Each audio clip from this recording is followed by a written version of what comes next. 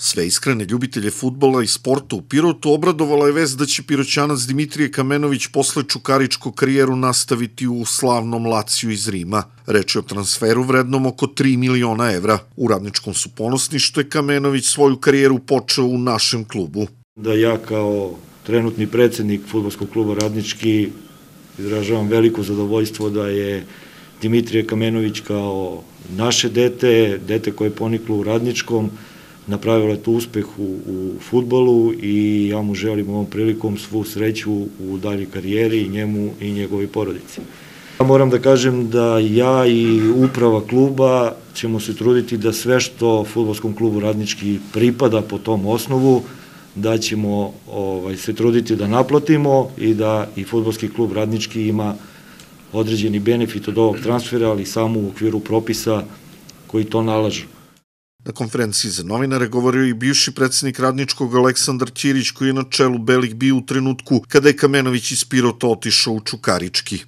Ono što se već, pa ne kažem poslednjih nedelja, već i poslednjih e, godina provlači kroz javnost preko nekih tabloidnih portala na lokalnom nivou, da je a, sam ugovor i sporazum sa futbolskim klubom Čukaričkija vezano za odlazak Dimitrija Kamenovića sporan, da to ima da je tim ugovorom načinjena šteta za futbolski klub Radnički, mogu samo da kažem da je to potpuna laž i neistina i da sve što se piše poslednjih dana pokazuje jedno neprofesionalno novinarstvo. Dimitrij Kamenović je ponikao u futbolskom klubu Radnički, bio registrovan svoje 11. godine i bio je u našem klubu do 15. godine igrač za sve vreme igranja kod nas je bio u zvanju amatera, što je jako važno iz razloga što pravilnik o registraciji statusu i transfera igrača Futbolskog saveza Srbije dozvoljava da igrači tek posle navršene 15. godine života mogu da potpišu stipendijski ugovor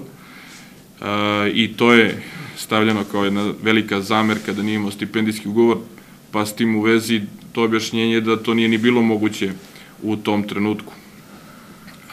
Ja kad sam došao u klub, Dimitrije Kamenović je već bio u Beogradu sa svojom porodicom. Tadašnji moj sportski direktor je pokušao da obavi razgovor sa njegovim roditeljima, jer smo znali da za nekih mesec dana će napuniti tu 15. godinu i hteli sa njim da potpišemo stipendijski ugovor, ali su pregovori sa klubom iz Beograda već bili u podmakloj fazi i naravno da roditelji nisu, nisu hteli da potpišu ugovor. Ćirić dodaje da bi Kamenović i bez saglasnosti radničkog dobio ispisnicu, tako da su želeli dobre odnose sa Čukaričkim. Kako on ističe, naplaćena i maksimalna kompenzacija za prelazak iz jednog u drugi klub. Fakturu koju pravi futbalski klub Radnički, koju je pravio prema prema futbolskom klubu Čukarički overava i proverava prvo Futbolski savez Srbije, da li u skladu sa zakonom i sa pravilnikom ili ne. Ukoliko ima odstupanja i za jedan dinar, ona će biti vraćena, to ne samo za ovaj primer, nego i za sve primere u, u svim odlascima u našem futbolskom e, savezu. Tako da, e, jedina je istina da radnički nije mogao da uzme ni dinar više, ni dinar manje od onoga što je propisano pravilnikom. U tom trenutku je to bio neki iznos od 300 i nešto hiljada dinara. Sve u svemu, Brđani su radničkom na osnovu trening kompenzacije isplatili ukupno 560.000 dinara.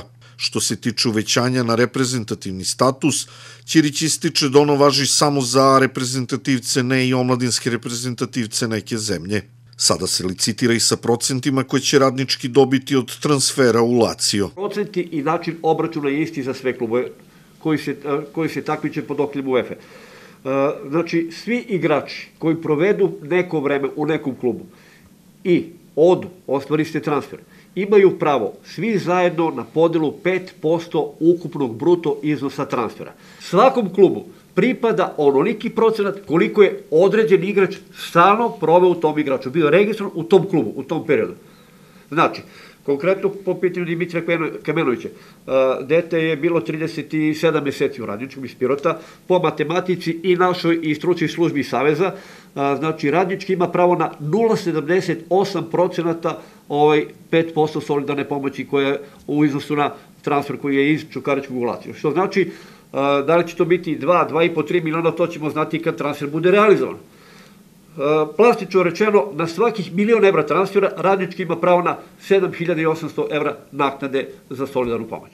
Aktualni predsednik radničkog Bratislav Ćirić istakao je da isto važi i za transfer Nikole Đurđića u Kinu, takođe da će se do kraja svog mandata zalagati za apsolutnu javnost u radu prilikom svih transfera.